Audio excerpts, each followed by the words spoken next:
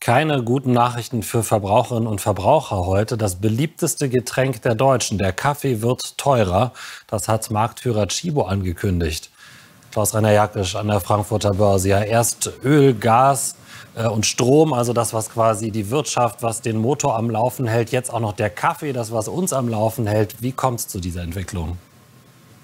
Ja, in der Tat, Kaffee hält uns am Laufen. 450 Tassen trinkt jeder Deutsche im Schnitt pro Jahr.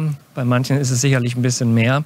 Und in der Tat, die Preise steigen. Der Marktführer Chibo, das ist einer der einzige, der sich immer da in die Bücher schauen lässt. Bei mir sind es deutlich mehr als 450 Tassen im Jahr. Danke nach Frankfurt.